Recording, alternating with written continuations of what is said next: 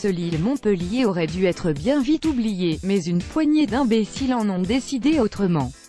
La pelouse envahie par des supporters à Lille a titré un article publié sur le site du cotin sportif L'équipe dans la soirée de samedi. TFFFFF, des supporters? Vraiment? Comment utiliser ce terme pour parler de la horde de hooligans qui a déferlé sur la pelouse du stade Mauroy après le match? Ces gens ne sont pas des supporters, ce sont des animaux. Il est vrai que le nul 1 à 1 n'arrangeait personne.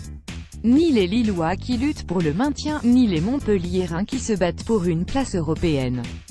Mais alors que les fans du MHSC sont restés d'un calme exemplaire et applaudissaient leur équipe malgré tout pour la félicité du combat mené, ceux du LOSC ont décidé d'envahir le terrain et d'en découdre avec leurs propres joueurs.